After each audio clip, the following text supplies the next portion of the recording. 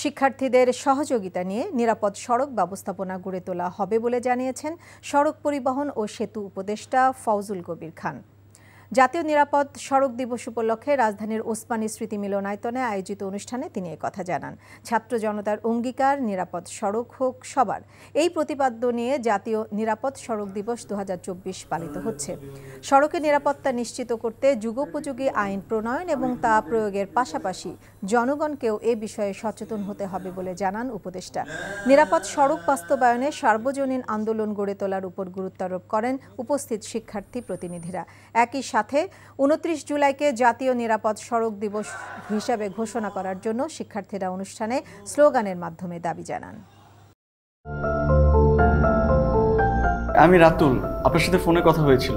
আমার মেয়েটা লেখাপড়ায় তেমন ভালো না। আমি জানি আমি ভালো রেজাল্ট করব না। কে বলেছে তোমার রেজাল্ট ভালো হবে না? তুমি এত সুন্দর প্রিপারেশন নিছো। ঠিকঠাক মনোযোগ দিয়ে পরীক্ষাটা দিলে তো ভালো রেজাল্ট করতে পারবে তাই না? আমার হাত ধরতে ভয় পাচ্ছেন?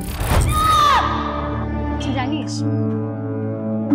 আমি না এখন চোখ বন্ধ করলে একজনকে দেখতে পাই। তোমার প্রিয় রং পেন্সিল আমি আপনার ছবিটা এঁকেছি রাতুল সালের কোনো দোষ নেই। না।